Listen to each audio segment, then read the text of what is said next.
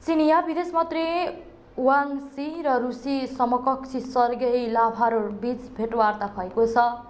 सोमबार रुस भ्रमणमा गएका चिनिया विदेश मन्त्री सेप्टेम्बर एक्काइससम्म रुसमा रहनेछन्। दुई विदेशी मन्त्रीबीच द्विपक्षीय सहकार्यका विभिन्न पक्ष तथा युक्रेन युद्धको अन्त्यको उपायमाथि छलफल भएको अन्तर्राष्ट्रिय सञ्चार माध्यमहरूले जनाएका छन्। चिनिया विदेश मन्त्री रुस रणनीति सुरक्षाको विषयमा छलफल भएको जनाइएको छ। उत्तर कोरियाली नेता किम जोङ र उनी रुस राष्ट्रपति भ्लादिमिर पुटिन बिच भेटवार्ता लगत्तै चिनिया विदेश मन्त्री रुस गएका हुन्।